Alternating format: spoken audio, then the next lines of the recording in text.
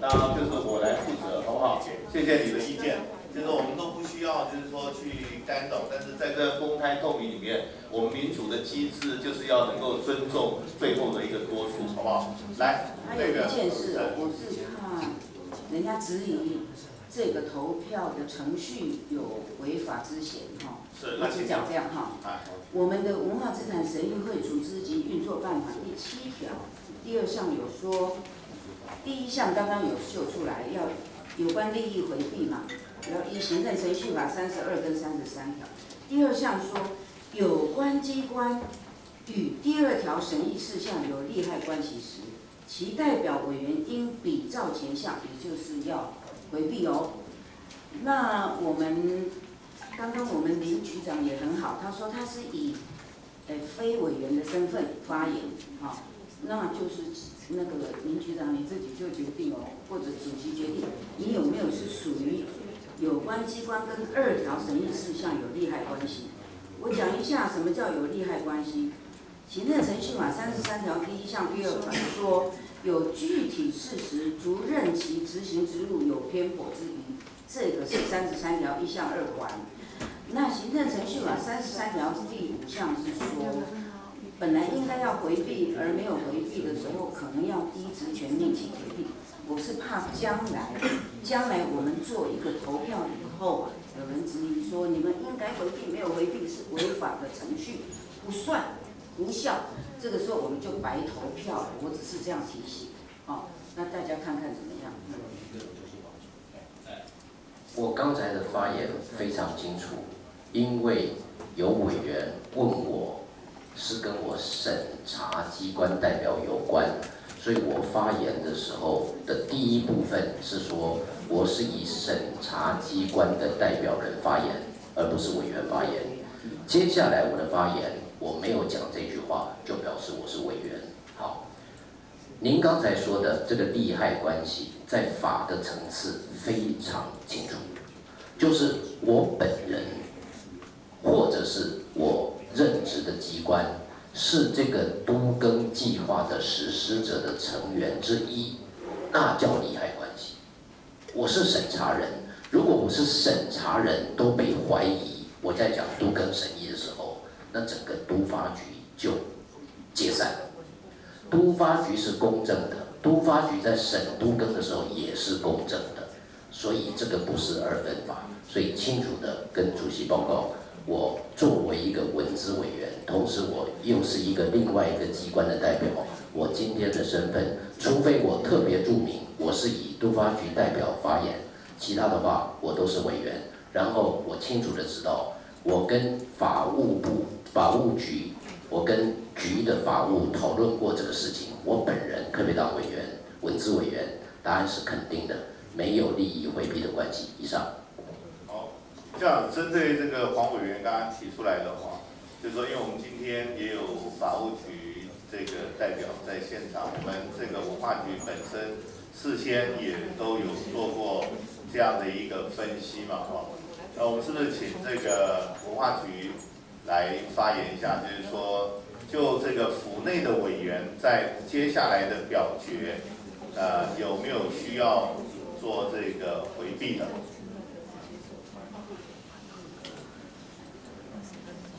呃，法务局代表发言。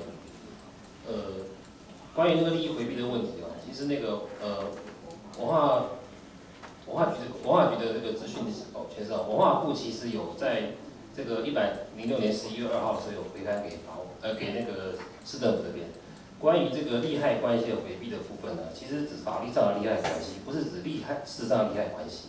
在这个状况下呢，其实呃。也就是说，是因为行政处分直接受到损害者，如果这今天是在只有经济上、情感上的其他事实上利害关系的话，其实不是所谓的法律上利害关系的这样一个状况。判断标准应该在这个地方。所以法就府内的委员针对接续的表决有没有需要回避的？以这个判断。以这个判断，呃，因为这个案子是属于私人申请案哈，并非由市府这个督发局所进行的提案。那因为呃文化部这解释也是属这个是属于行政处处理的这个程序，不需要回避。以上报告。好，呃，如果这样情形的话，就是说，如果按照刚才委员具体的建议，就是我们初步的来用这个票的表达、投票表达来看，大多数的意见也都没有必要，我们就直接进行这个四定古迹的三分之二的这个表决。那么如果没有通过三分之二，我们就进行历史建物的表决。那，大家不反对的？如果没有的话，我们就准备选票来请。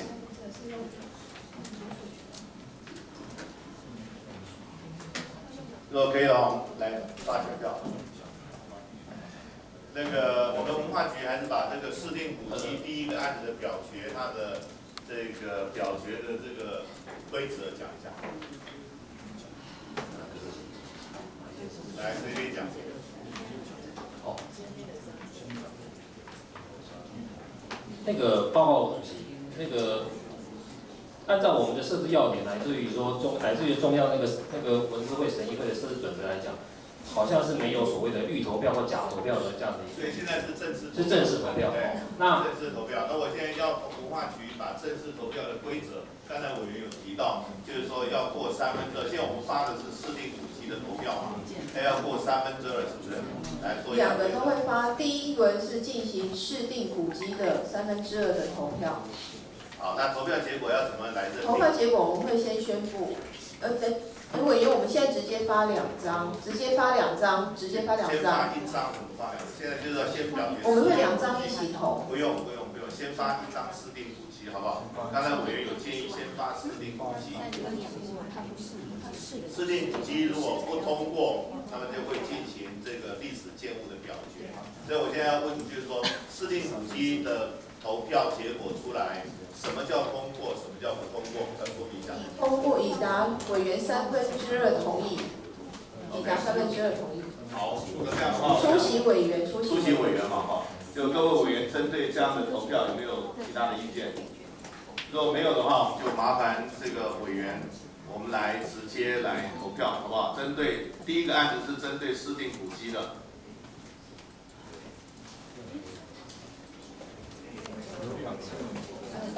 分代表不能投票，分代表那个不是亲自出席的不能投票。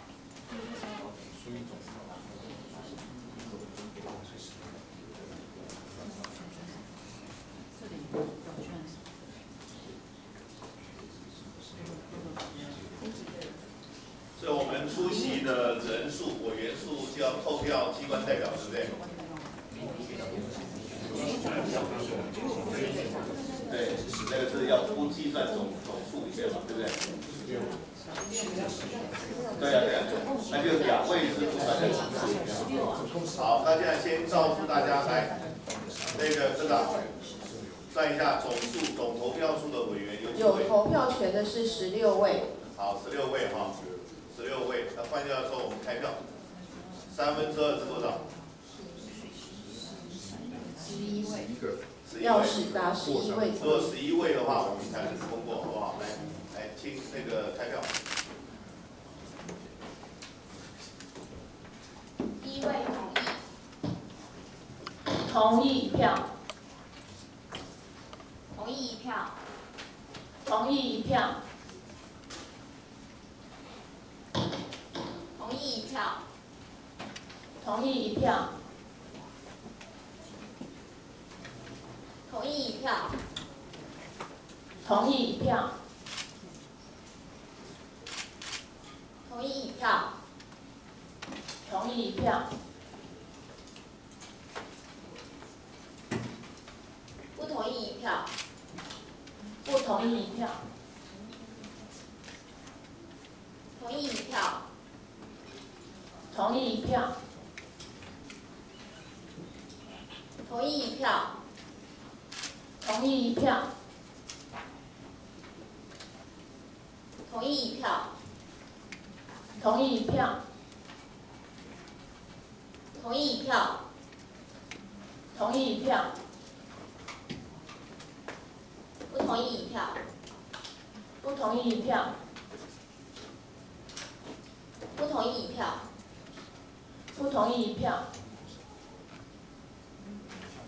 不同意一票。不同意一票，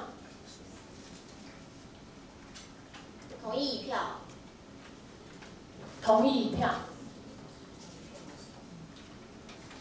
不同意一票，不同意一票，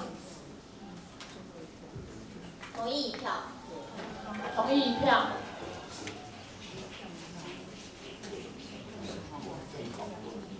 目前同意十一票，不同意五票，已达过三分之二，所以达市定古迹。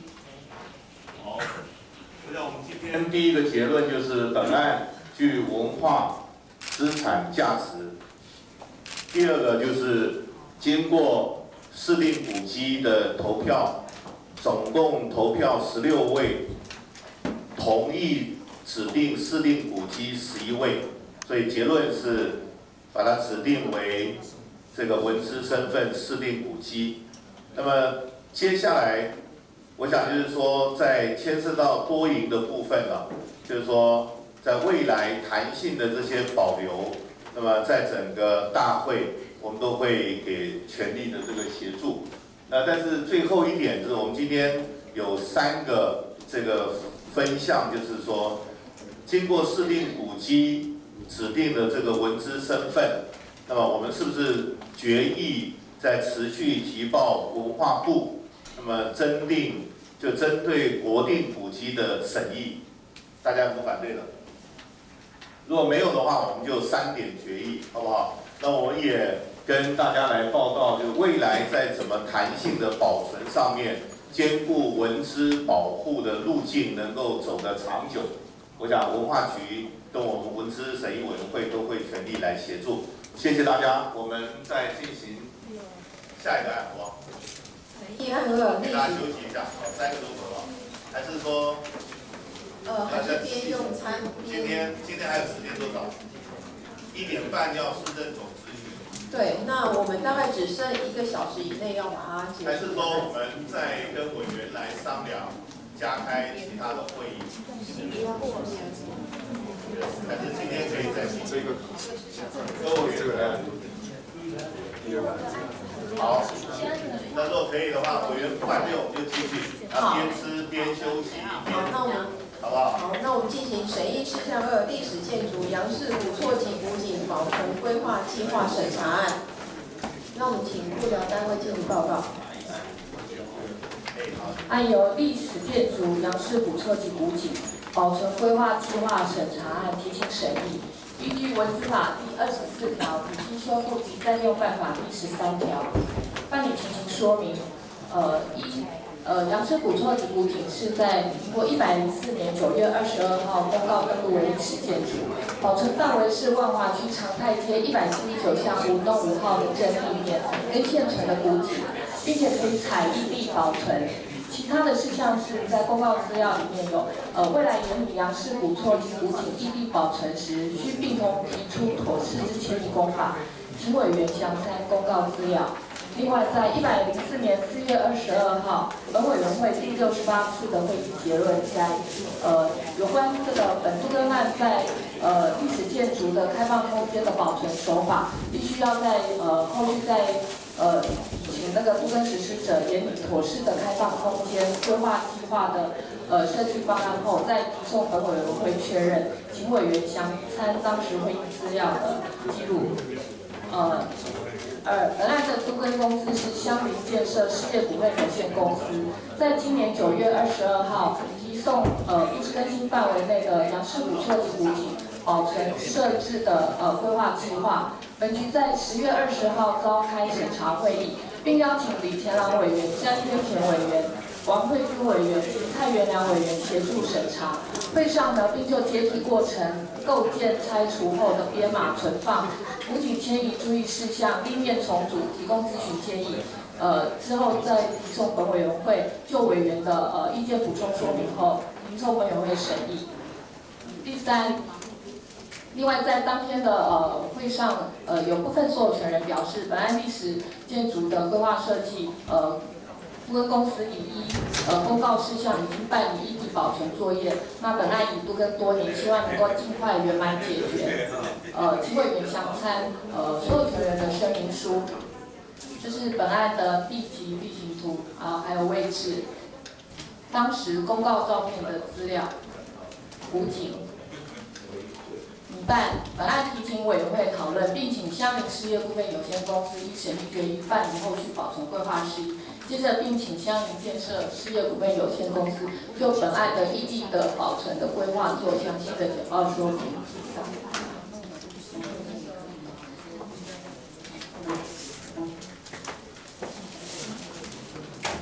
哎，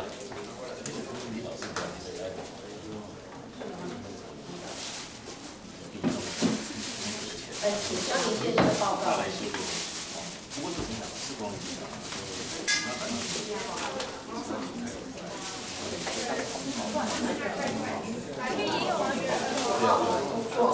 那上次的文思委文思审大会说可以预见，呃，那个异地保存。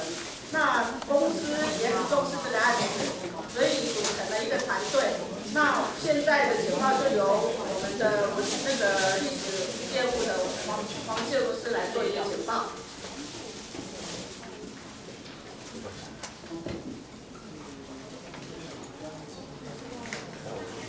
喂，各位委员、各位长官以及关心本案的这个朋友啊，大家好。呃，我是本案设计规划的建筑师黄介浩，很高兴呢针对本案进行相关的设计跟研究。那针对上一次我们在十月中的十月中的时候，已经针对呃。这个案子进行第一次的设计规划的审查。那在这审查过程中呢，啊，呃，委员呢对我们的案子已经有很充呃很多的指示以及改善哈。那张老师呢，希望我们针对相关的这个未来迁移或是改变的一个程序呢，要多加注意它的一个呃这个过程。那蔡老师呢？呃，希望我们了解未来古井迁移的时候，它的地下水位以及施工的工序等提出要求。第三位，第三位，第三位李老师呢？啊，也希望未来我们迁移之后的一个做法，在未来再利用以及展示，呃，能够有一个比较好的这个这个开发的历史的说明，以及针对古井的安全呢，也给我们很多提醒。那王老师呢？针对整个呃这个原貌的形式的复原、照片的比对，还有这个呃在拆之后的构件的保存呢，给我们很多这个关心。好，针对本案呢，我们也刚刚依照我各位委员的意见呢，进行了相关的这个改善啊。那我大概说明一下，刚刚在呃主席也讲过，哦，本案呢其实是。呃，在万华中山一小段啊，呃，总共二十六笔地号的一个都市更新案啊，它是在八十九年已经公告为呃更新区啊，那经经过九十六年等等啊，一百零三年已经通过了一个核定的一个过程，但是后来因为民民团呢，呃，有一些关心的人士，针对一些被指定为呃历史建筑的空间呃的一个遇到为这这个这个呃呃，希望呢能够有一些。呃，能够重视，所以说我们就进到文字的一个程序。所以说，在上一次呃，我们文资呃，在本案呢，在民国呃呃这一百零四年呃五月通过指定为历史建筑哈。那在审议的结论呢，希望说可以呃有关呃古井以及古厝的这个保存呢，可以采异地的方式去做这个保存，以不影响都根的方式来做原则配置。啊，所以说，我们就依照这个原则呢，进行了这个整个立面保存以及迁移的一个可行性，作为一个规划。啊，所以我们也是依据相关文资法的一个规定以及要求呢，进行相关的设计。那这呃，希望呢，在执行过程中能够让原貌保存，而且呢，能够使得这个空间的结构能够取取得一个最大安全，来来这样子来执行。那我再说明一下，我们本案哈是在万华区的这个这个位置哈，呃，拆迁的范围最主要是在呃古井跟跟这个拆迁范围是在这里。那它其实我们整个都跟这个呃被划为整体开发范围，主要分为 A 跟 B 区。那我们这次要处理的两个历史建筑建物呢，最主要就是呃在这个范围 B 区的范围以内。啊，那整个在位置上呢，这个是就是刚刚讲的那一道呃地面的一个保存，那这个是一个补给的位置，希望这两个能够做一个呃很好的这个异地保存，最主要是因为它在这个整个基地来看，它是在核心位置，所以说整个这样的一个配合，我们希望透过分割的方式呢，以及这个补给从移位之后呢，更好的一个来来彰显它的意义。所以说我们整个计划流程呢，包括怎么去这个这个呃拆迁的过程以及重组的计划。好，所以说在整个执行上呢，我们会依据文资以及相关的经验呢，做好它的拆解的记录、编号的作业、重要的一个拆存以及建立一个档案的一个过程。好，那整个流程呢，刚比如说我们怎么去去做拆迁、固定以及保存，最后呢进到了这个重整、重建好以及做一个完成。好，所以整个呃，刚刚大概针针针对本案做一个说明。那现在呢，我就基地的一个条件做一个了解哈。它其实是在刚刚讲过，在呃当时被指定为这个这个历史建筑的一个一个过程。那这是指定的这个啊，总共有九名地主所有权人。那它位置在这个这个区域。那这个是它建筑本身，它算是历史。呃，这个这个呃两千多平方，但是实际的这个呃这个历史建筑的位置啊，就是刚刚那道立面已经已经讲。好，那这个是当时公告的一个资料跟跟跟规划啊，跟它的这个内容。那这是刚才的中文。好，所以它的历史背景哈，因为它其实是在呃这个这万华呃加大。地区的一个呃布拉陶哈，这个地区的一个呃这个呃位置哈，那它其实当时是杨氏哈，在这里是一个很大的大户哈，所以说在这个地方呢，它就新建了它的古厝以及它的这个杨氏庙等等哈，那这个地方呢，历史呢呃经过这呃大概一百多年的一个发展呢，它呃证建了当见证了当时他们的文化以及他们的这个这个历史呃他们的家族的这个历史。所以在在建筑部分呢，它其实是一个三合院的建筑哈，呃正身以外还有两个副楼。那现在目前呃保存的就呃剩剩下正身的立面啊，还有呃另外在附近的一个一口井啊，那其他的都已经坍塌，已经已经呃呃非常的破破落，所以它是一个当时很标准的一个三合院的聚美式聚落的形式。啊，那这个是当时在呃之前呢找到了一个老照片，其实当时它是呃像屋顶、屋瓦呢这些，其实这些部分在后面都已经坍掉，现在就剩下这块土角墙以及这个这个土土土雀的一个立面啊，跟它的一个开窗以及前面的户口的一些阶梯的形式。那另外呢，就是刚刚另外那一口井哈，那它原则上大概是呃在在旁边哈，那它好那。基本上希望呃整个这个古井呢能够保存好，那历史价值希望能够把它保留下来，呃呈现它的历史意义。好，那这个是它目前的现况啊，请参照。那解体计划来讲呢，我想整个计划也就是我们这个如果通过这个文字的审议之后呢，我们希望依据相关的法令哈，包括文字的相关规定进行解体。下一张。啊，那构建的编码啊，这是我们曾经有的经验去做一个呃建立的这个资料的方式，下一张。啊，那包括建立它的表件以及它保存的方式，下一张。还有整个未来呢，哦，在施工过程呢，我们都会有一个停留点的一个检验，下一张。那包括制度检查，我们依照相关的规范及要求，下一张。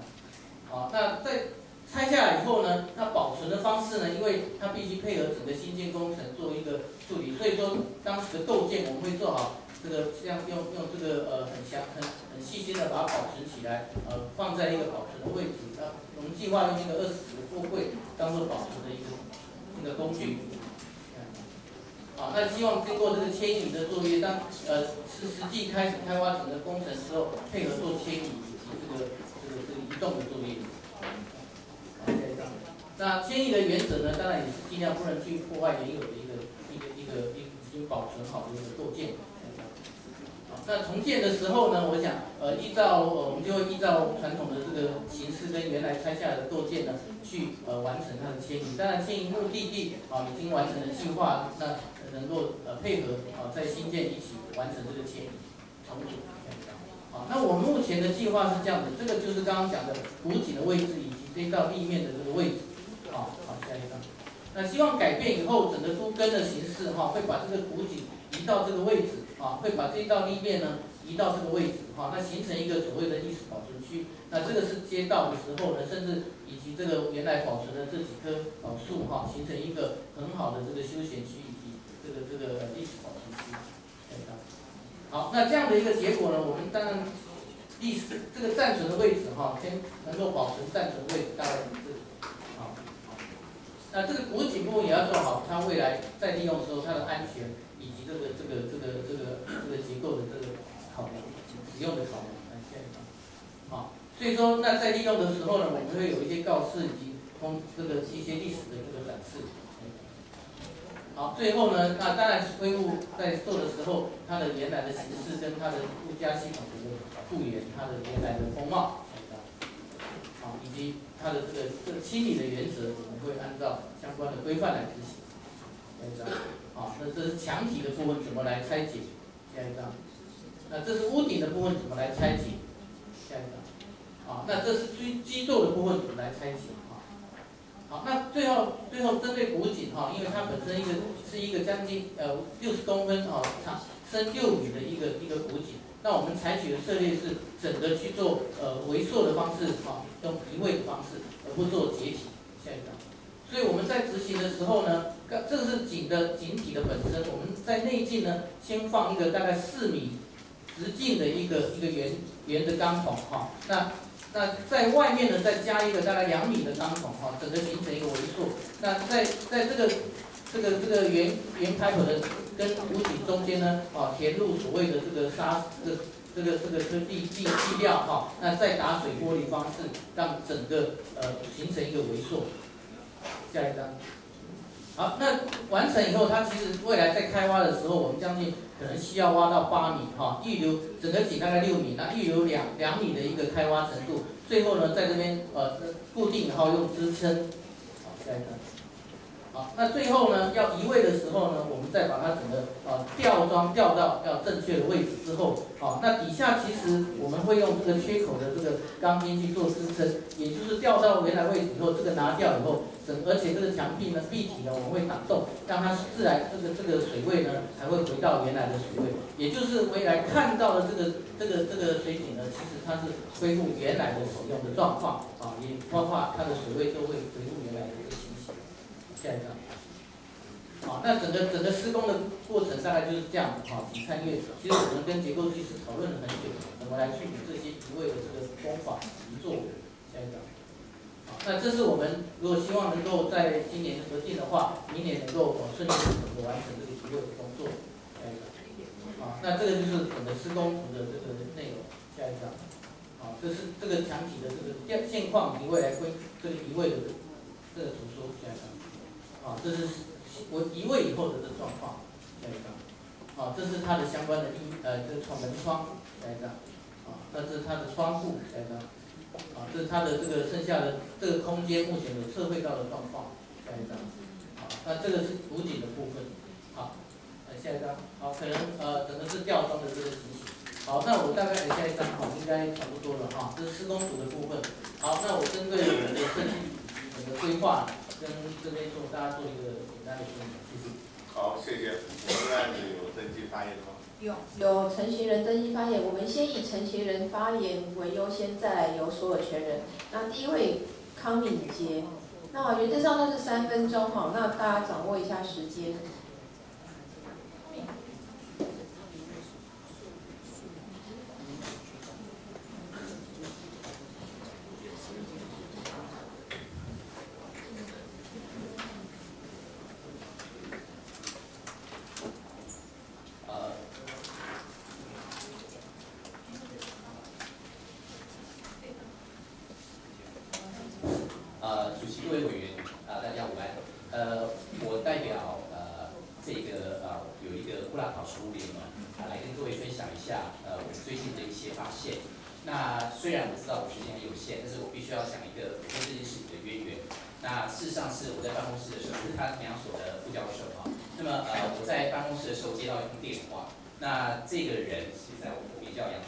那么他是杨家，现在还在祭祖，就是它宫厅其实是有一个非常重要的祖先的牌位。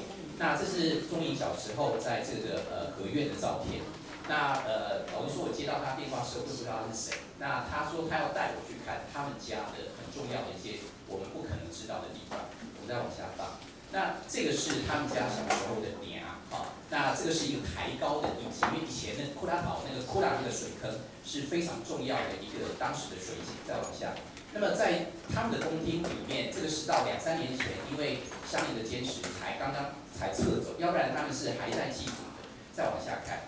这个是那个祖先的神主牌位，主要的神主牌位后面有一个很重要的事情，跟各位解释一下。一下，这个是当时他们在祖先牌位后面看到的最早的叫做开基祖，开基祖是第十世，他们现在是二十一世，所以往回推大概至少是两百七十五年以上的事情。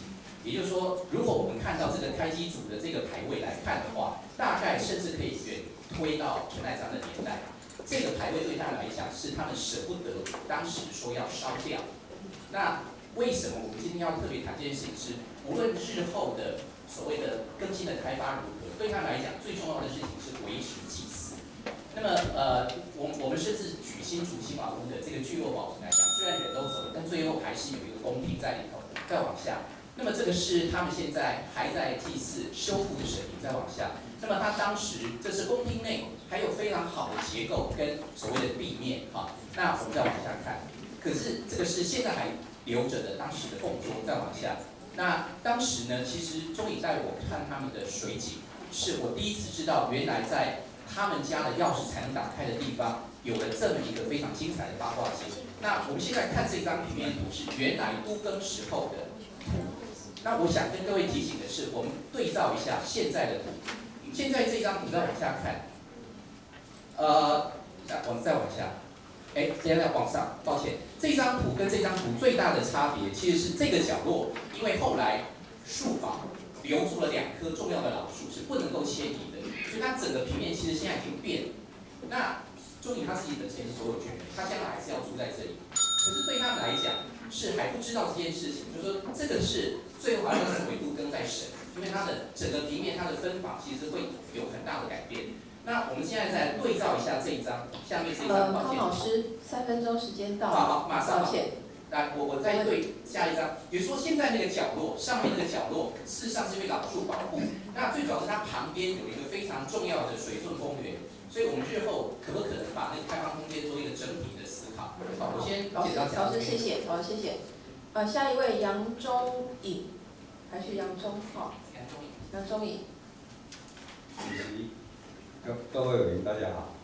其实，看经过这么多开会啊，我我自己觉得啊，像我们祖先是从两从那个我们第十代，我们我现在是二十一代，真的是两百七七十年的历史。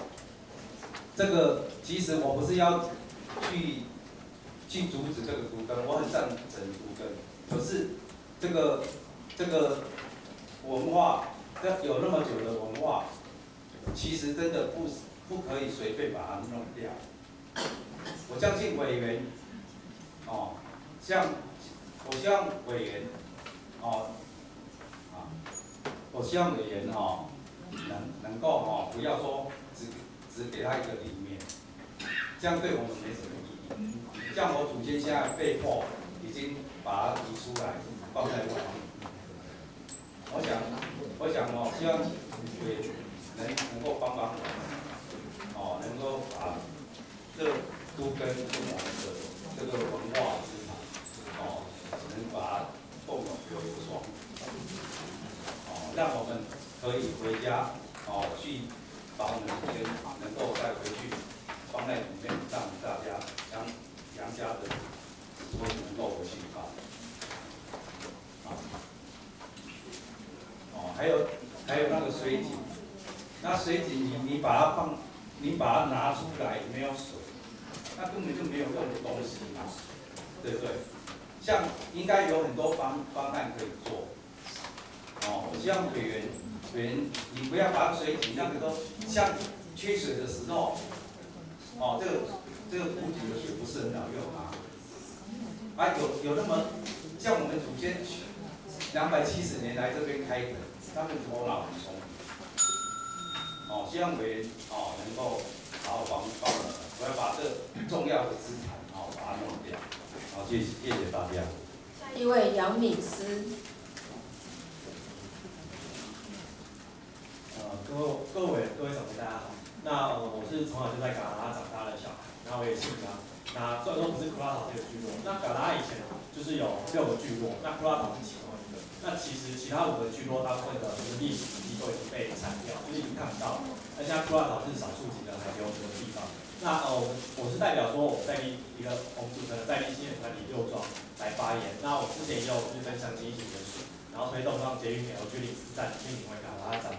那呃，身为年轻一代，我们都认同，就是都市需要适度的更新跟整建，以迎向更好的未来。那但是虽然说呃，但是住宅以财产是个人，是历史跟文化是属于这边的每一个人，还有未来的子孙。那我非常希望说，在聚落被拆除之前，可以进行全区的绘测、影像保存跟口述历史的记录跟文物盘点。那本来就是未来这些东西是可以用在我们所谓的公共艺术、还有教学、还有历史教育上、社区营造等领域上。这对我们来说是一件。对地方来说是一件非常重要的资料。那呃，这样痕迹也可以跟乡里所规划的社区图书馆去进行结合。那呃，也希望说，就是未来就是捷运的意向什么的，也可以使用这些我们记载得到的资料。对，那也可以让就是这个站变成台北市台少数几个具有地方特色的车站。那呃，就是从小我就是在那边长大，可是我到大学毕业才知道，就是有卡拉这个地方，知道说以前有很多个。都有去过，那我觉得说，呃，有这个实体的东西，会让这地方的小孩对于这个地方会有更多的认同跟跟参与感。那也有认同跟参与以后，他们才会愿意去参与这个市区的事物。对，那呃，我们知道说，了解自己从何来是一件重要的事。那我们也了解自己之后，才能思考说未来要往何处去。那希望未来港大的小孩可以知道自己的历史，知道自己的古迹。下一位施佩颖。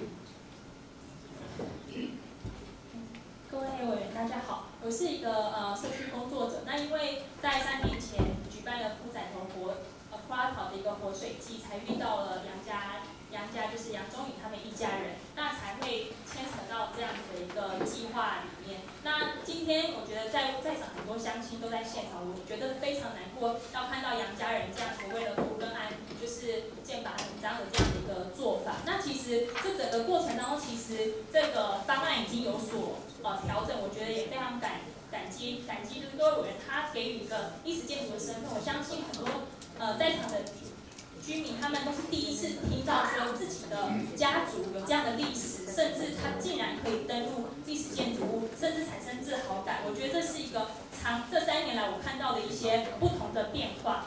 今天回到嗯这个计划案的话，它其实最早期。是有登有所谓的列册追踪的部分，那只是当时在提在都更案进行的时候，并没有所谓的都更身份，那呃这个文字的身份，那当然也是树保这个左上角这个树保的部分，也是后来才发现它是有一个树保的价值。那今天也因为配合历史建筑部分，把它留在这个右上角的广场。那回到这张平面图的话，我们是进行想要跟各位委员呃提呃说明的部分是。左边的这个现为枯仔口公园部分，就是三年前我们活水机所保留下来的一个开放空间的水水域。那我们会认为说，目前在留在右上角这样的一个配置，它并没有一个，并没有一个晋升。那晋升它有没有办法保留，让杨家人可以继续回来祭祖？我觉得祭祖这件事情，它是一个很活的事情，它不是一个一个一个刘海式的这样的一个门厅而已。所以我们会建议说，有没有可能去思考这个？所谓的正立面的晋升跟这个古井的水源的位置，假设它可以跟树堡这样的一个比较大量量体改变之后的一个广场，能够跟这个托拉陶的公园相做一个呼应，它是正是一个可以从一个更好的一个呃人形的跟历史呼应的一个带状。谢谢。最后一位杨富林。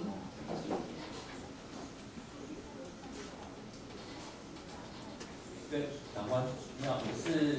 杨品他第呃他第，刚才图片上我看到数错，现在的就就就在建筑区。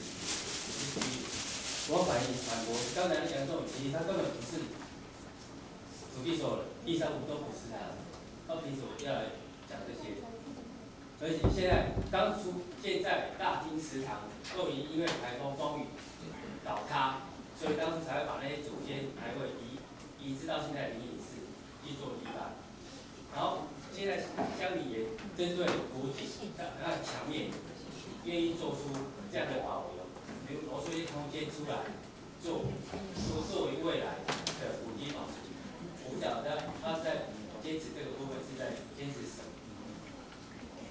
请各位长官针对这个部分能够思考一下，说现在的居住环境其实已经，只要一下雨，有些房子就都已经漏水，根本没办法，不是一个小到家庭的家教被爸爸已经年事已高，他一直在期盼说这个都跟到底是到要等到什么时候，可以等了多久？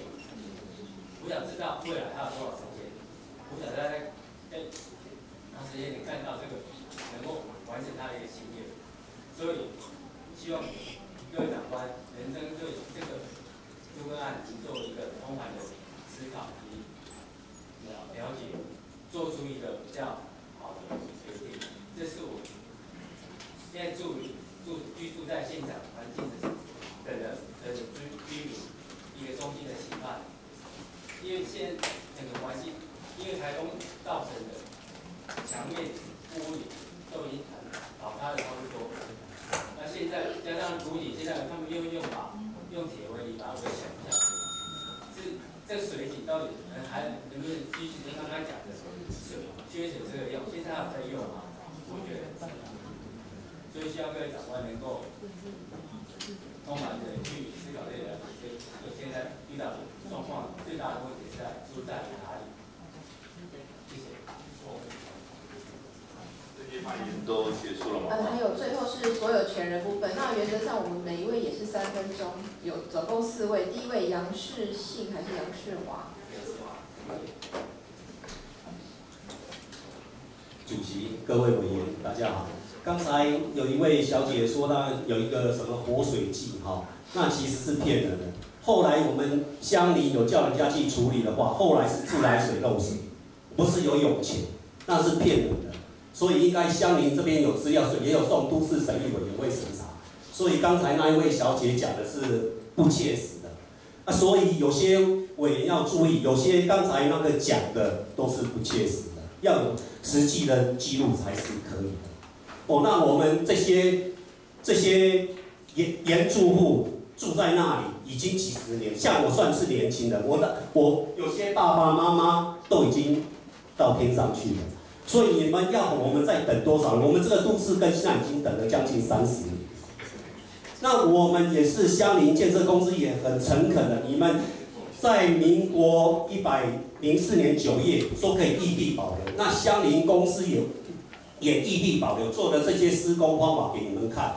那刚才那个委员，刚才那些人讲的，有些是说已经在一百零四年九月就决定可以异地保留，现在再来讲这些。不切实际嘛？现在今天讨论是要怎么施工的方法，已经不用再讨论要不要异地保留还是要怎么样的的那一个事情了嘛。好，谢谢各位委员，谢谢。下一位吴幼娟。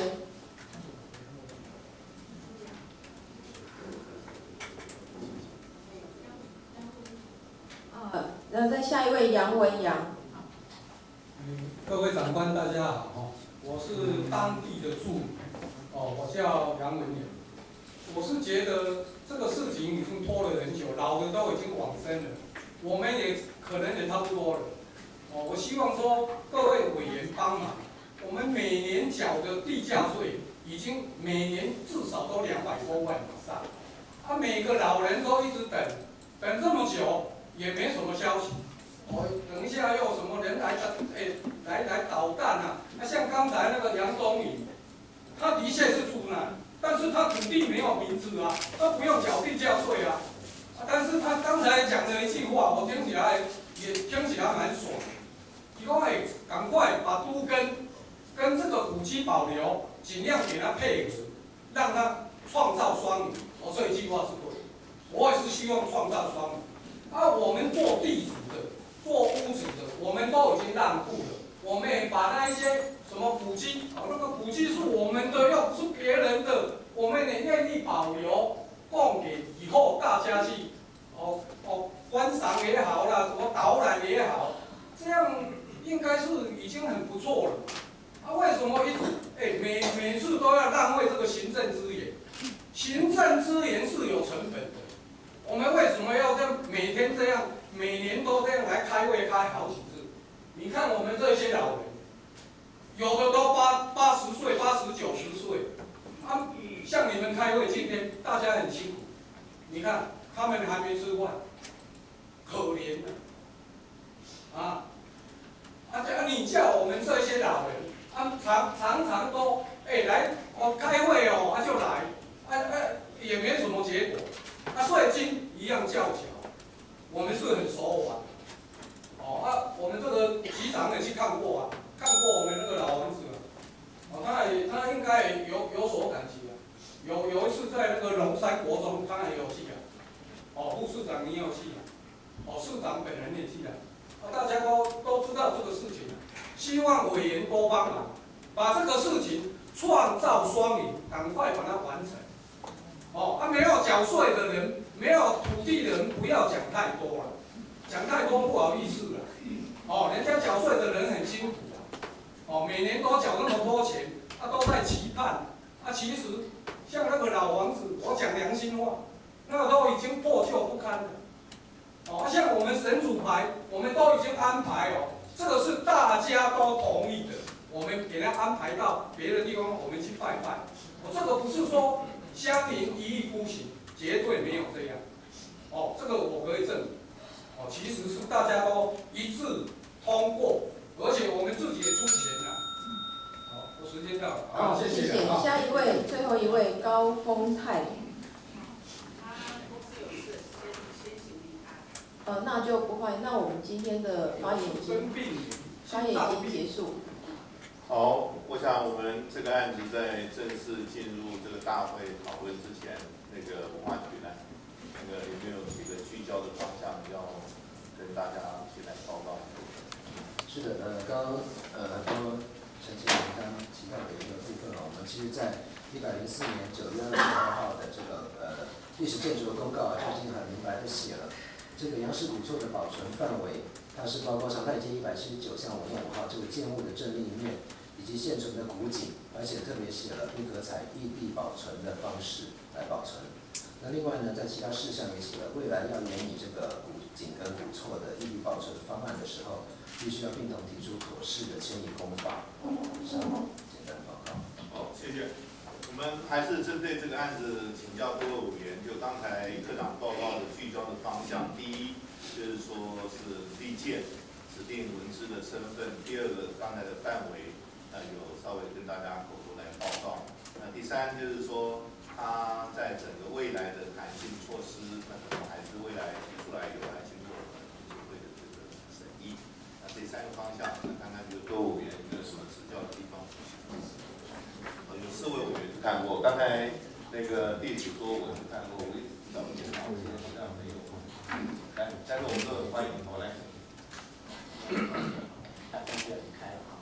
那再来几个建看看建一下。